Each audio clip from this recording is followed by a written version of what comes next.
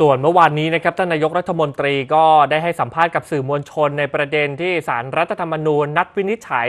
คดีที่กลุ่ม 40 สว ยื่นฟ้อง ปมการแต่งตั้งคุณพิชิตชื่นบานเป็นรัฐมนตรีไม่ชอบด้วยกฎหมาย ซึ่งก็มีกำหนดไว้วันที่ 14 สิงหาคมที่จะถึงนี้นะครับ โดยท่านนายกรัฐมนตรีเองก็ระบุว่าตอนนี้ได้ส่งข้อมูลให้สารรัฐธรรมนูญครบถ้วนแล้วนะครับแล้วก็ขอบคุณทุกกำลังใจที่ส่งให้ ยืนยันว่ามีกำลังใจเต็มเปี่ยมในการทำงานครับ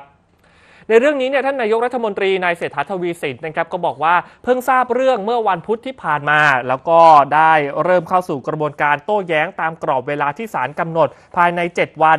พร้อมกับขอบคุณทุกกำลังใจจากทุกคนนะครับที่ส่งให้ แล้วก็จะทำให้ดีที่สุด พร้อมกับย้ำว่าได้ส่งข้อมูลให้ศาลครบถ้วนแล้ว แล้วตอนนี้ก็อยู่ในกระบวนการยุติธรรมแล้ว จึงไม่อยากพูดอะไรมาก ยืนยันว่ายังมีกำลังใจเต็มเปี่ยมในการทำงานครับ ซึ่งท่านนายกรัฐมนตรีก็ยังได้ย้ำถึงความสัมพันธ์ระหว่างพักร่วมรัฐบาลด้วยนะครับว่ายังเป็นไปด้วยดี มีการพูดจาแล้วก็พบปะกันตลอด เช่นเดียวกับการทำงานของรัฐบาลก็ยังเดินหน้าไปด้วยดี ส่วนประเด็นใดที่ไม่เข้าใจกันก็ถือเป็นเรื่องธรรมดาของการอยู่ด้วยกัน ก็ต้องแก้ปัญหากันไปส่วนที่ก่อนหน้านี้เนี่ยปรากฏภาพรัฐมนตรีหลายคนไปร่วมกิจกรรมตีกอล์ฟที่เขาใหญ่ จนเป็นที่มาของปฏิญญาเขาใหญ่นั้นเนี่ยในเรื่องนี้ท่านนายกบอกว่า พักเพื่อไทยกับพักภูมิใจไทยเองเนี่ยมีมากกว่าคำปฏิญญา จึงเชื่อมั่นว่าภาพที่ปรากฏออกมาเป็นการไปออกกำลังกายตีกอล์ฟเท่านั้น แล้วก็มั่นใจด้วยนะครับว่าจะไม่ทำให้เกิดผลกระทบกับเสถียรภาพของรัฐบาล ส่วนปัญหาการกระทบกันในประเด็นกัญชานั้น ก็ได้มีการพูดคุยกันในพักร่วมรัฐบาล แต่ทั้งหมดเป็นหน้าที่ของกระทรวงสาธารณสุขที่จะต้องดำเนินการ ไปฟังเรื่องนี้จากท่านนายกรัฐมนตรีกันหน่อยครับ ขอบคุณมากครับครับ ก็ทำดีที่สุดครับก็ก็ส่งก็เข้าใจว่าส่งข้อมูลครบครับ ตอนนี้ก็อยู่ในอยู่อยู่ในระบบที่มัน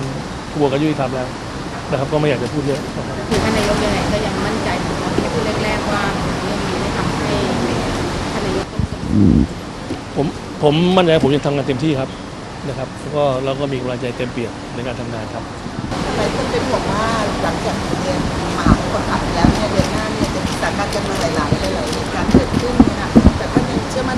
ร่วมรัฐบาลแล้วก็สถียรภาพของรัฐบาลก็ผมก็ท่านคงเห็นนะภาพที่ผมมีกิจกรรมร่วมกับพรรคร่วมทุกๆคนนะครับ วิธีการที่เราพูดจากันมีการพูดคุยกันตลอดนะครับ การที่เราเจอกันเยอะในช่วงช่วงเวลามหามงคลนี้ก็มีการพูดคุยกันตลอดนะครับการก็ยังเดินเนินหน้าไปด้วยไปด้วยดีนะครับ อะไรที่ไม่เข้าใจกันก็มีเป็นธรรมดาของการอยู่ร่วมกันนะครับ ก็เป็นการจัดการแก้ไขปัญหาไปนะครับ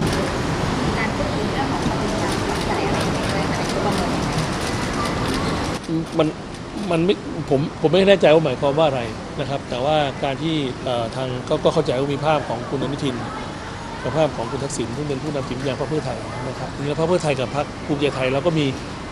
คือเราเรามีมากกว่าปฏิญญา ผมคิดว่าเป็นสัญญาร่วมอยู่แล้ว เราอยู่เราเราอยู่ร่วมรัฐบาลเดียวกัน เป็นส่วนหนึ่งของสองพรรคที่ทำมา 314 เสียง ซึ่งเราพูดมาโดยตลอด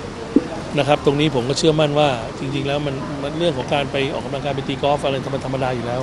ในสังคมก็เป็นไทยก็เป็นสังคมที่เราคบหาสมาคมกันอยู่แล้ว ไม่ว่าเป็นนักธุรกิจไม่ว่าเป็นนักการเมืองไม่ว่าเป็นอดีตนักการเมืองนะครับนายกตอบทุกประเด็นครบนะครับครับทั้งเรื่องของปัญหาภายในอืมแล้วก็เรื่องของกระบวนการยุติธรรมที่ต้องดำเนินการไปตามกฎหมายเดี๋ยวค่อยว่ากันครับ